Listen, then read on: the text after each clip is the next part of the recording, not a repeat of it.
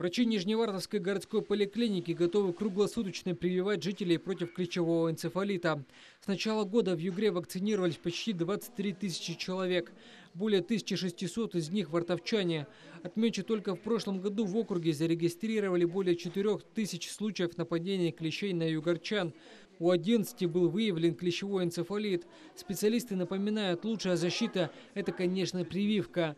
Первую инъекцию медики делают в выбранный день. Вторую необходимо провести в интервале от 1 до 7 месяцев. Работает он круглосуточно, в любое время дня и ночи можно подойти. Значит, если все-таки клеща удалили сами, то принести его показать. Если трудно было удалять его, то удалит это доктор.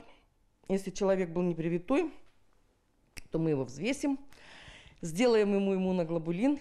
Значит, на сегодня э, у нас достаточно иммуноглобулина, почти на 554 человека. Если рассчитывать максимальную дозу, то, то есть город пускай будет спокоен.